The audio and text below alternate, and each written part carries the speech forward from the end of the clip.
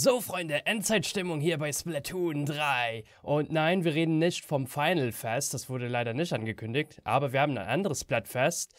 Äh, das Spiel selbst verrät uns das noch nicht, aber am 18. Mai bis zum 20. Mai findet ein, ja, Apokalypsen-Splatfest statt sozusagen. Und es wird heute eine Runde Herrschaft gespielt, das finde ich doch gut spiele nochmal meine Gallen da mit der neuen Ult. Und äh, ja, hoffentlich sammeln wir hier irgendwie einen Stern drauf. Damit ich halt wieder Articards habe. Ich will das nächste Splatfest halt dafür nutzen, um eine Menge Articards zu sammeln. Also da werden wir unterschiedliche Waffen halt spielen.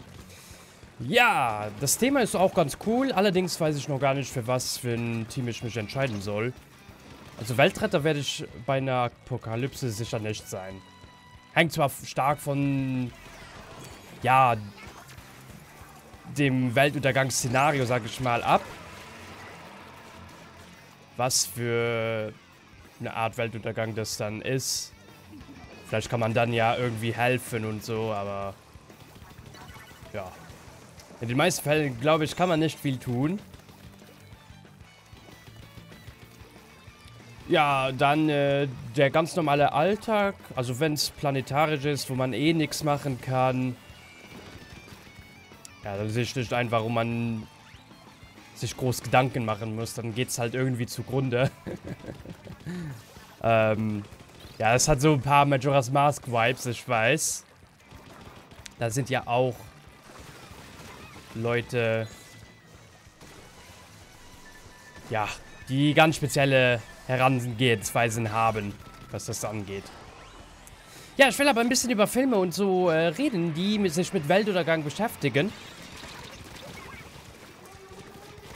Und da fällt mir der erste Film schon mal ein. Einer, der direkt die drei Themen quasi in einem Film vereint. Und zwar rede ich da von Don't Look Up. Netflix-Film der ziemlich cool ist, bei dem äh, ein Meteorit auf die Erde stürzt und das würde dann den gesamten Planeten zerstören. Und äh, man hat so quasi, glaube ich, drei Monate oder sechs Monate, bis dass dieser Meteorit auf die Erde prallt. Und die Politik will es halt verschleiern, um keine Panik zu verursachen. Ähm, ist ein sehr witziger Film, aber auch sehr ernst. Sehr speziell. Geht ein bisschen lang. Es gibt Teile, die... Ja, die sind zu viel. Also etwas kürzer wäre der Film nicht schlecht. Ich mag ihn dennoch. Ich finde ihn gut. Gute Schauspieler. Äh, spiegelt so ein bisschen die moderne Zeit. Ja, gibt natürlich dann auch äh, Leugner und so. Na, da tun sich halt so Bewegungen aus, auf. Impfgegner und so in dem Genre, ne, so Vergleich, aber die glauben halt nicht an diesen Meteorit und so. Und andere versuchen halt davor zu gehen. Die Wissenschaft versucht halt mit Raketen und so diesen Meteorit zu sprengen, bevor er einprallt. Ja, und dann gibt es natürlich die, die ihre Bucketlist absolvieren wollen. Ja, und da kommen wir schon auf das Thema, die Bucketlist. Sehr speziell. Äh, dass das Löffelliste heißt auf Deutsch, wusste ich nicht. Ich wusste gar nicht, dass der Begriff überhaupt eingedeutscht ist. Der Begriff stammt aber aus einem Film. Und leitet sich natürlich von, äh, von dem Wort, äh, Wortspiel ab, ähm, den Löffel abgeben oder im Englischen dann halt take it to the bucket. Ähm, das Witzige dabei ist, dass dieser Begriff zu diesen mittlerweile schon erst vielen Mandela-Effekten gehört. Denn dieser Begriff kam das erste Mal 2007 in diesem gleichnamigen Film The Bucket List vor und beschreibt halt einfach, ja, wenn man ein Todesurteil sozusagen kriegt, also wenn man halt per Krankheit oder so nicht mehr lange zu leben hat, macht man sich so eine Bucketlist oder beim Weltuntergang. Und das sind halt alles Sachen, die man halt vor seinem Tod noch erleben will. Also Dinge, die man dann halt absolviert, wie, was weiß ich, das erste Mal Achterbahn fahren, Bungee Jumping, Können aber auch ganz andere Sachen sein. Wie auf ein Konzert gehen und so. Und äh, ja, die Theorie ist hier, dass dieser Begriff, also es gibt Leute, die, äh, die behaupten, sie be haben diesen Begriff schon vor 2007 benutzt. Aber das kann eigentlich nicht sein, weil der Regisseur mit diesem Begriff das erste Mal halt in diesem Film ähm, diesen Begriff verwendet hat. Vermutlich, es gab ja den anderen Begriff, diesen, den, den Löffel abgeben, den gab es ja schon vor diesem Film und vermutlich vertauschen da einige Leute das. Wie bei vielen Mandela-Effekten. Ne? Das Thema ist sehr spannend. Aber es gibt mittlerweile so vieles, wo die Leute glauben, äh, der ursprüngliche Begriff kommt ja von Nelson Mandela, der ja äh, angeblich 2000, äh, in den äh, 60er Jahren in einem Gefängnis in Südafrika, glaube ich, war es, gestorben sein soll. Das war aber nicht der Fall, denn der kam irgendwie dann... Also die Todesnachricht kam erst, glaube ich, so 2012 oder so, dass der halt verstorben ist. Und einige dachten halt, der säße, äh, ja... Also der wäre halt inhaftiert und in den 60ern irgendwann gestorben. War er auch, er war im Gefängnis. War natürlich ein Menschenrechtler, ne, gegen Rassismus und so. Äh, also keine schlechte Person ja. Aber das ist ein anderes Thema. Jedenfalls ist das der Ursprung dieser Geschichte, dass die Leute halt nicht wussten, dass dieser doch länger lebte, als man dachte. Und dass er auch gar nicht so lange im Gefängnis war. Ne? Der wurde irgendwann auch Staatspräsident. Und das haben halt einige irgendwie verdrängt. Aber zurück zum Thema zu kommen. Ein anderer Apokalypsenfilm nenne ich ihn jetzt mal, den ich sehr gerne schaue, aber ehrlich gesagt noch nie ganz geschafft habe. Der geht auch viel zu lang, leider. Independence Day. Teil 1. Teil 2 habe ich nicht geschaut, habe ich auch keine Lust drauf. Aber Independence Day ist ein geiler Film. Ich mag den. Der ist auch schon relativ alt. Aber die Spezialeffekte sind immer noch top aus. Also, nice. Aber er geht zu lang. Ich bin, schlaf dabei immer ein. Ich um ehrlich zu sein, ich weiß nicht mal, wie dieser Film richtig endet. Über das Ende sprechen wir gleich. Vorsicht, Spoiler, also jetzt abschalten, falls ihr nicht gespoilert werden wollt. Es läuft heute gut mit Herrschaft, ne? Ja, und ich schaue immer so ein bisschen falsch in die Kamera. Ihr merkt es vielleicht, es ist eine neue Kamera, eine andere. Ich will die mal testen. Weil mit der, die ich im Stream benutze und im letzten Video auch benutzt habe, war ich nicht so zufrieden mit. Ähm, ja, Independence Day. Das Ende. Also so habe ich das Ende im Kopf. Es gibt ja diesen, diesen Verrückten nennt man ihn jetzt mal, äh, angelehnt an The Truth aus San Andreas, aber er existiert halt früher. Also San Andreas hat eine Anlehnung an diesen Independence Day Charakter gemacht. Ist halt jemand so, der halt an UFOs glaubt und immer wieder sagt, es gibt die, es gibt die, obwohl jeder sagt, nee, das ist Quatsch.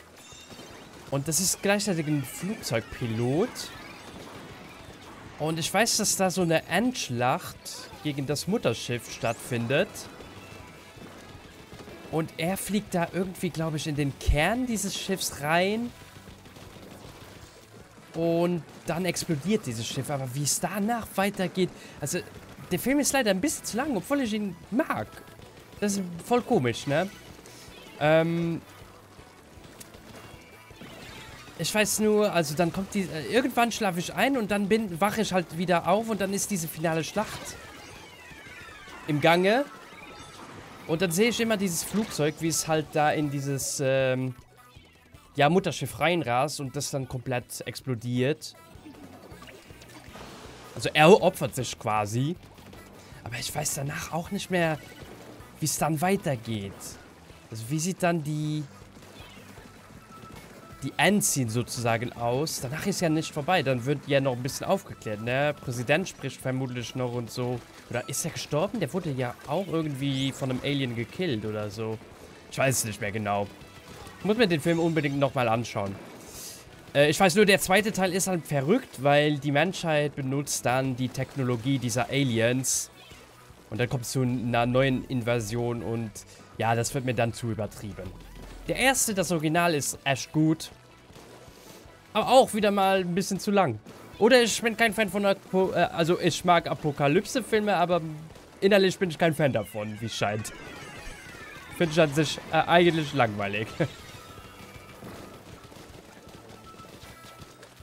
ja, das ist auch ein ganz cooler Film über das Ende der Welt.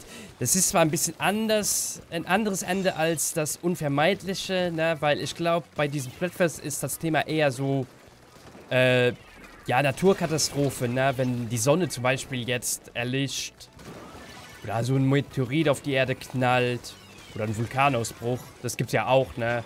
Gab ja schon teilweise in der Geschichte Vulkane, die den Flugverkehr in ganz Europa lahmlegte. Oder Pompeji ist ja auch quasi ein Weltuntergangsszenario. Zwar nicht, wo der ganze Planet stirbt, aber dennoch. Es geht in diese Richtung. Ja, und dann darf man natürlich etwas nicht, äh, etwas darf nicht fehlen. Und wir haben schon ein bisschen darüber gesprochen, denn Majora's Mask. Wenn der Mond auf die Erde prallt. Ich glaube, es gibt sogar so einen Film, ne? Moonfall, der ist relativ neu. Habe ich auch noch nicht geschaut. Aber ist basically auch so ein, so ein Katastrophenfilm wie 2012, was ja auch... Das war zum Beispiel das richtige Endzeit-Szenario, das auf dieses Splatfest passt. Ja, weil da wusstest du ja, ah ja, im Dezember ist Schluss. Okay, was mache ich bis dahin? Und dann hast du halt den ganzen Sommer Zeit. Oder noch länger, je, je früher du informiert bist über das Ereignis. Ja, es war, 2012 war wild. 2012 war echt wild. Geiles Jahr. Thema Nummer 1 war logischerweise der Weltuntergang am 12.12.2012. Was? Dieses Datum? Ich glaube schon. Und, ähm, ja. Dann gab es natürlich die Abergläubigen. Und die haben ja, vielleicht ein bisschen überreagiert und vielleicht so eine Bucketlist aufgestellt, wer weiß. Äh, allerdings gab es natürlich auch eine Menge Medien dazu. Ja, es gab einen ganzen Film, der halt quasi vor Ende des Jahres noch erschien, 2012. So heißt er sogar. Kann man sich geben, ist ganz okay. Ähm, ich finde die Musik geil in dem Film. Ich mag dieses 2012-Theme. Äh, Ja, ich persönlich war relativ schnell... Ja, also ich war gar nicht. Ich habe gar nicht an den Schwachsinn geglaubt. Es war halt einfach das Ende des Maya-Kalenders und die haben halt eine andere Zeitrechnung. Das ist die, die, einfache Version. Aber ich hatte Leute in meinem Freundeskreis, die schon so manchmal mir sagten, ja, und was ist, wenn das jetzt doch so ist? Glaubst du, die Welt geht wirklich unter? ich denke mir halt so, ja, auch wenn, wir können ja nichts machen. Weil das Ende der Welt kann ja alles bedeuten. Man weiß ja nicht mal, was das Problem ist. Ne? Explodiert einfach der Planet? Oder wird es ultra kalt? Kommt eine neue Eiszeit? So, das letzte Match würde ich auch ganz gerne gewinnen. Es läuft gut mit der Waffe heute. Aber ja, die da sind ein bisschen hartnäckig. Ja, was ist denn, das ist ja so eine doofe Frage, aber was ist denn euer Untergangsszenario, was ihr euch wünschen würdet, wenn die Welt untergehen würde? Schneller, langsamer Tod? Oder mit einem richtigen Knall? äh, und was ist euer Team? Habt ihr schon eine Entscheidung? Weil ich weiß, ehrlich gesagt, will. Ich werde nicht für die Weltretter stimmen. Bucketlist klingt verlockend, aber ja, einfach chill sein und den ganz normalen Alltag.